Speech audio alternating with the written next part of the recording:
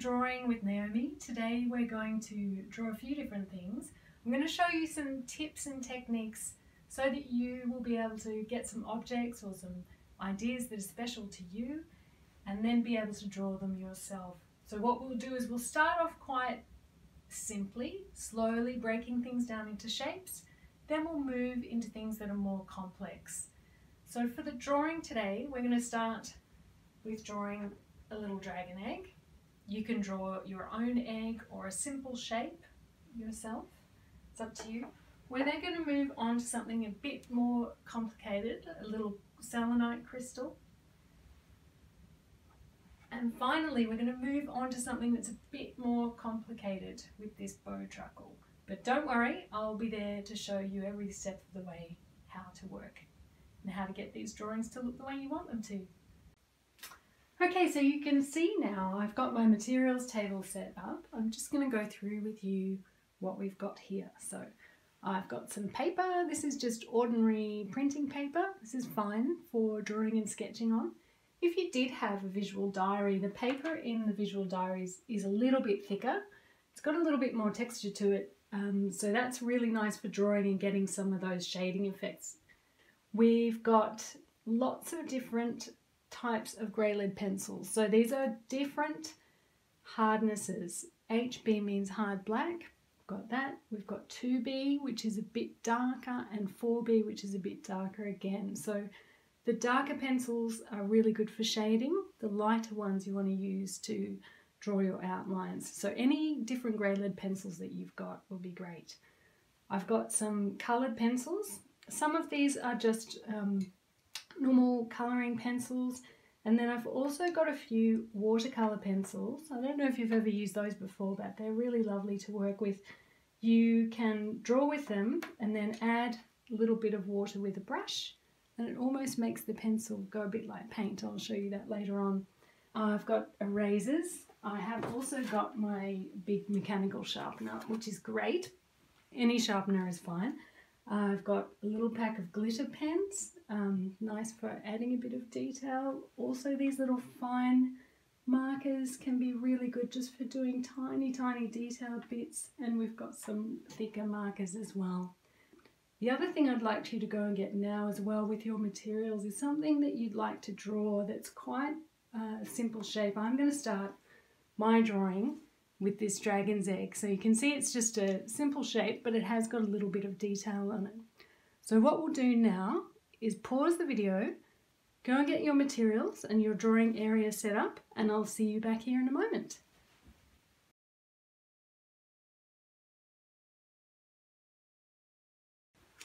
Okay, we're just going to start by doing a quick little sketch of the dragon's egg now. I'm just going to do this in pencil to start with, just to show you some shapes and shading tricks. Okay, so the first thing that we want to do is just get the shape outlined. Now, you can be as messy with the shape as you like.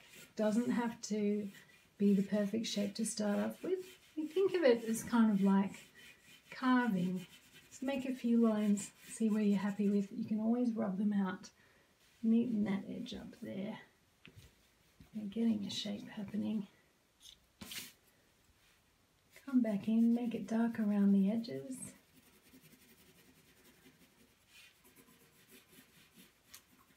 I'm going to come in and get a darker pencil. So I really want it to have some depth. You can use a pencil, see how I'm sort of using this pencil on the side as well to get a wider line. Lighter in the middle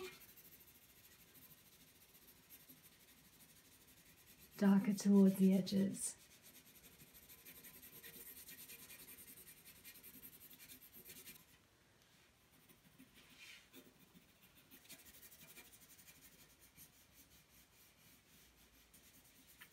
You make it go around in circles. We need to get a bit of extra texture.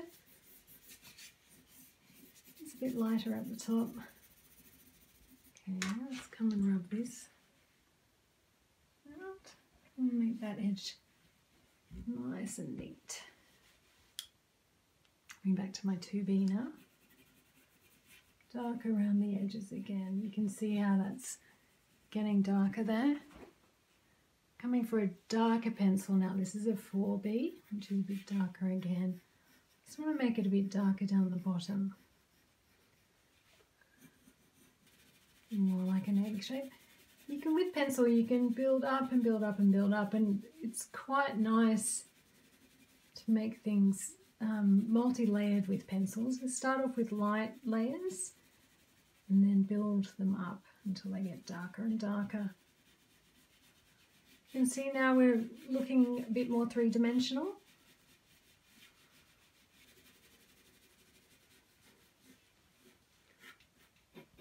So we've got a basic three-dimensional shape happening now, which is really nice. So now it's time to come in and put in some of these details. We've got some quite crazy shapes here. You see lots of patterns.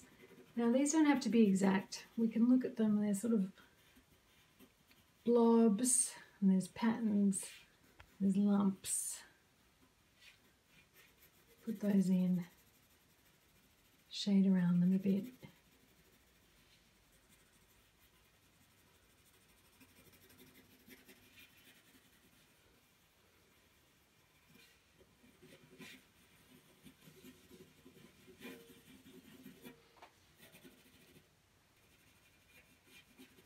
Just putting a bit of dark grey now, watercolour pencil on top.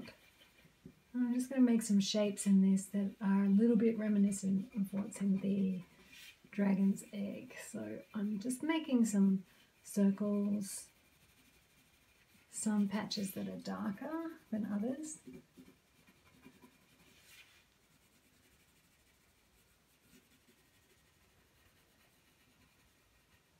Oh, my table's a bit wobbly there.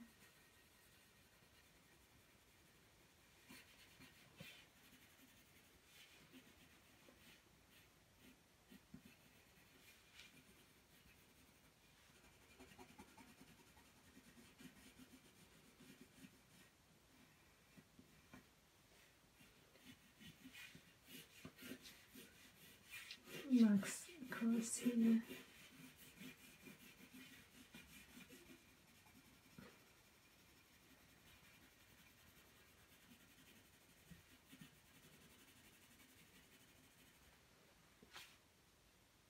brush and just go around these details here. So this is the watercolour pencil you can see.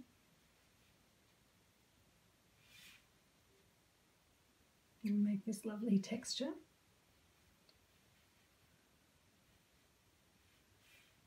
Pattern, we're going to fill those little bits in. You can see how it's still lighter in the centre.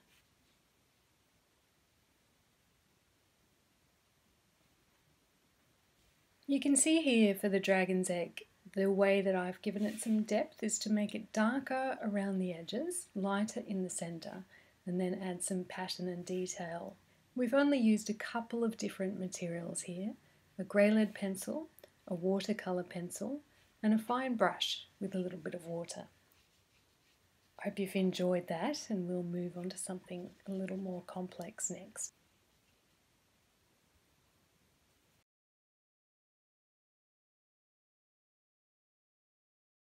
I'm going to move on to something that's a little bit trickier now. I've got this lovely crystal which you can see if you look at it carefully it's made up of a few different shapes. So I can see there's a cylinder around here and there's also a sort of triangle on top. So what we're going to do is start looking at that. It's always the way to start. Break down the shapes that you're dealing with and then we'll come in and put in the detail again.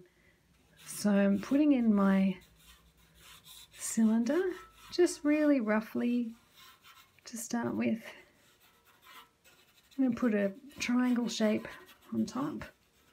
Get these, we've got this little tower up the top.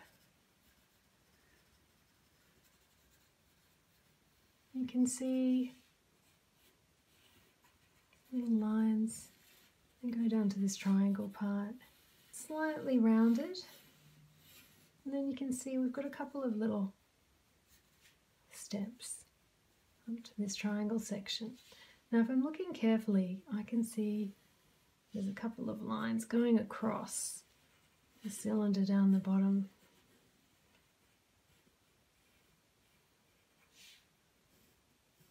Another one. As we start getting up to the top, there's sort of a little ledge here. It's almost like steps going up here, and then we've got some lines again across. There we go, it's starting to look like some nice shapes now. Okay, so we've got the basic shape, we've got the cylinder, the triangle on top and then we've got these little stepped sections. So what I'm going to do now is come in and do some shading. So I'm just putting some darker areas around the bottom where those little steps start.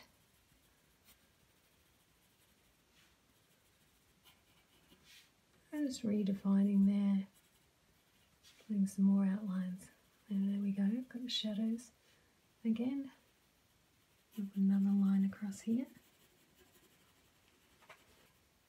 Another line there. Okay, a bit more shadow. And then again, we've got another step here.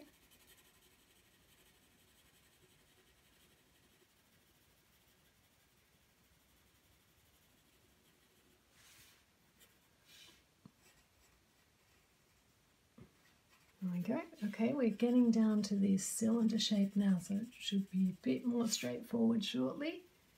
Just got to get this detail in first.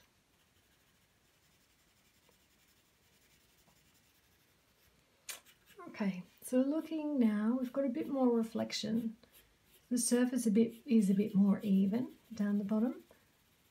It's not quite as dark as all those stepped areas up the top. And just draw some lines nice longer lines down here.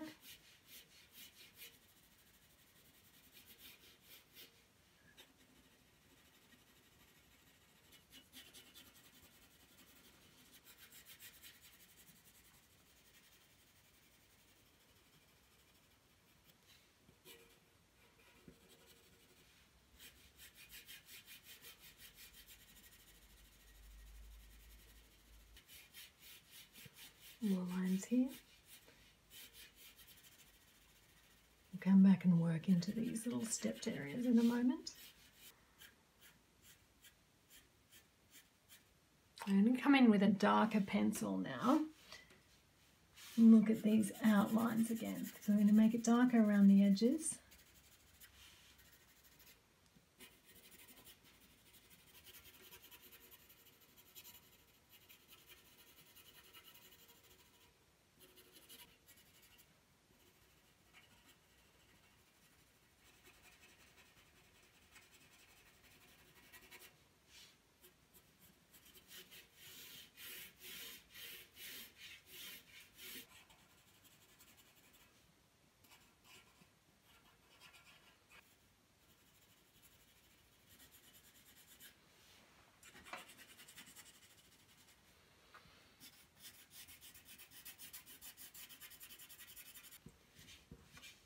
Just using my razor now to bring back some of these lines, make it a little bit lighter through the centre.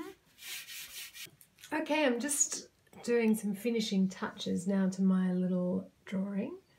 I used a little bit of a grey watercolour pencil before, just to add a bit of detail. So now I'm going in and just adding a little bit of water on top so it gives a bit of depth to the crystal, a bit of shadow.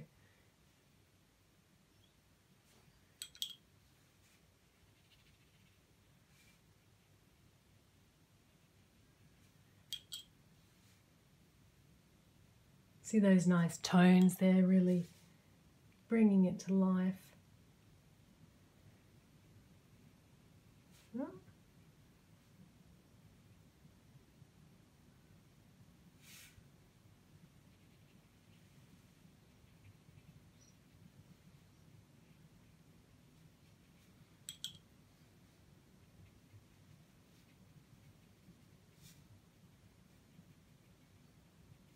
Going to come in now and add a little bit more of this thicker pencil at the top. Get a bit more shade. Whoa, that went dark.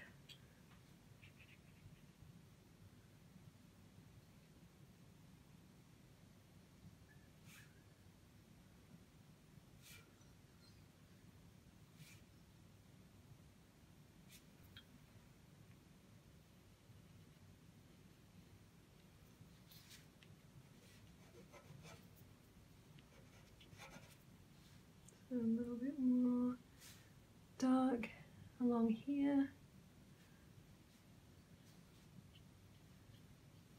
Flicking the brush up a bit.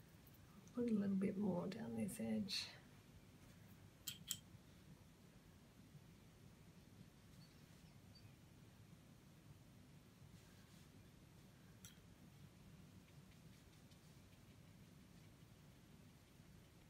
Mm, I'm going to put just a tiny bit.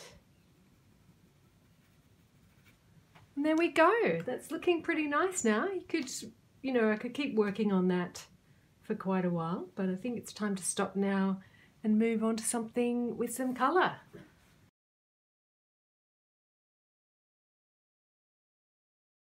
We're going to move on to something a little bit trickier now. Here's a drawing I did earlier of a bow bowtruckle and here's the model that I made that drawing from. So again, like I've been saying, the most important way to start is always by looking at the object and breaking it down into shapes. So if you look at this little creature, you can see we've got a cylinder here and then we've basically just got some lines where his hands, legs, arms are and two leaf shapes up the top of his head. So we'll give that a start doing an outline first and then I'll come back in and show you how to shade it, make him look a bit more three-dimensional. All right, here we go. I'm about to start. So let's see, we'll have a kind of cylinder. I'm just starting with a grey pencil down the centre. Looking at a little picket here.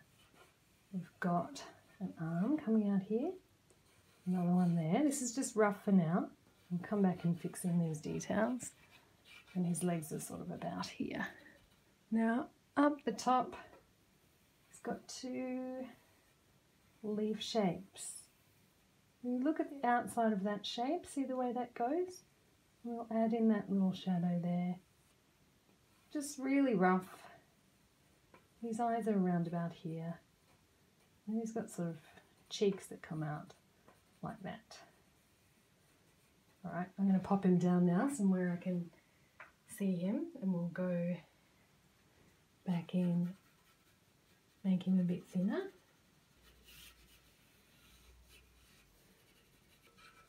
His body's actually not quite that long, so I'm going to pop his legs up there a bit. There we go, another one around there. Okay, his hand up like that. There we go, got a very rough shape. Okay, now let's tidy up those little leaf ears.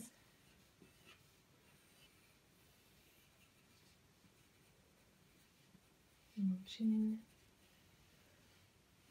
arms, and he's got two fingers that come down here and three fingers off this hand.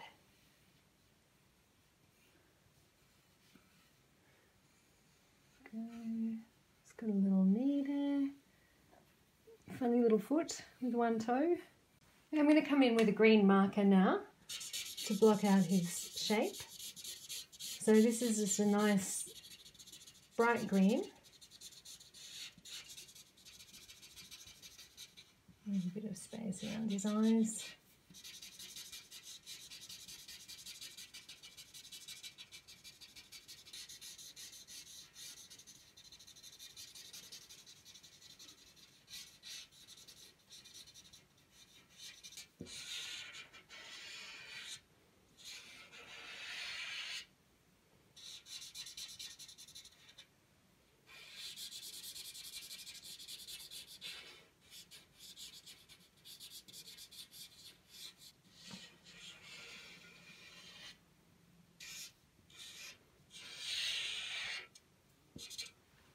So he's all blocked in now, background colour's done. So what I'm doing now is a bit of an outline in a really dark green colour, which will just give the shape again a bit more depth and gives us a bit of an outline. So you can see I'm just working in there now. He's also got black, very dark eyes. So I'll pop those in.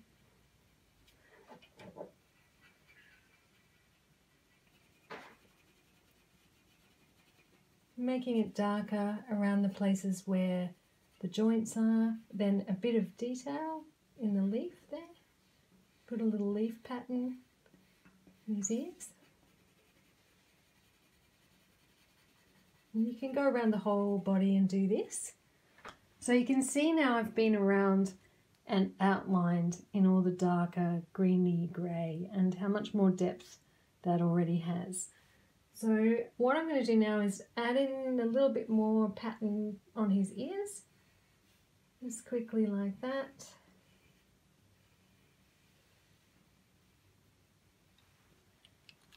I'm going to put a bit more of a darker green around his mouth to accentuate his lovely little frown. Of little twiggy marks along the arms. So this green is just a bit darker than the base green I've used and then we've got the dark greeny grey around the edges. So we've just got three colours so far and you can this is the effect that you can get. I'll just mark that. There we go.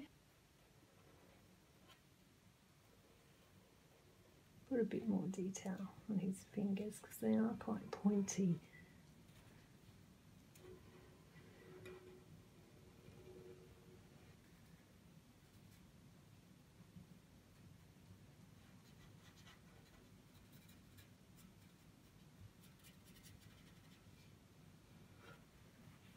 The last thing I'm going to do is just touch up a little bit of that grey watercolour pencil that I was using. Just get rid of some of those marks, make it a bit more shady. There we go. And you can always come back in and add a bit more detail. See this is wet now, but afterwards you might like to come in and add some of those lines on top of his leafy ears. There we go, you can see the pencil there is blending in with the marker, changing the colours a little bit.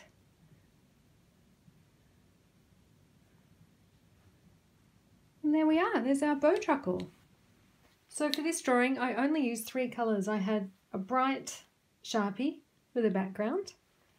I had a darker green marker for some little highlights and lines. And then I had a dark grey-green watercolour pencil just for doing the outlines and a little bit of shading. That was all I used. And so you can see even with just a few tools how you can make a drawing that looks reasonably realistic.